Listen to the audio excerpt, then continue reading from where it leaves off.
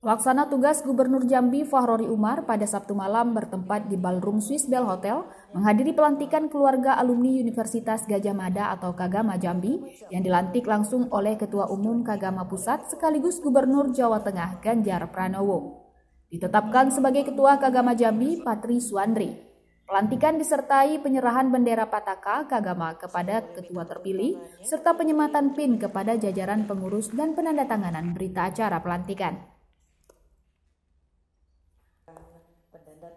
Universitas Gajah Mada atau UGM Yogyakarta merupakan perguruan tinggi tertua di Indonesia, berdiri sejak tanggal 19 Desember 1949.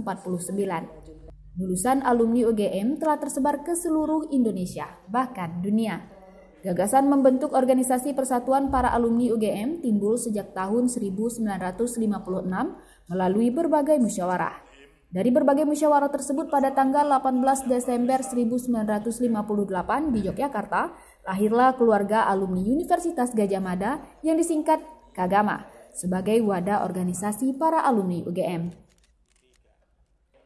PLT Gubernur Fahrori Umar menyampaikan ucapan selamat kepada pengurus keluarga alumni Kagama Jambi periode 2018-2023. Fahrori berharap Gagama Jambi dapat memberikan inovasi kreativitas serta ide-ide cemerlang untuk diaplikasikan sangatlah nyata dinantikan, khususnya untuk pembangunan dan majunya Provinsi Jambi.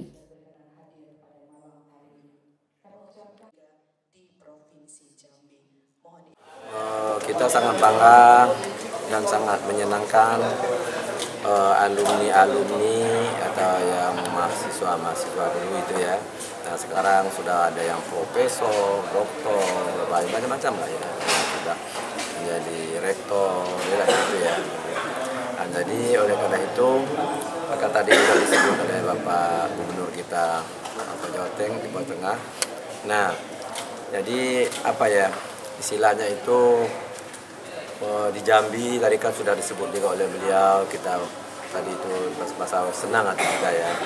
Nah, tinggal lagi nanti eh, apa namanya itu untuk kerjasama. Jadi saling jadi kita dalam persatuan-persatuan ini tadi PP agama itu ya saling isi mengisi, saling mengingatkan. Jambi, Nurani Wulansari Tribrata TV. Salam Tribrata.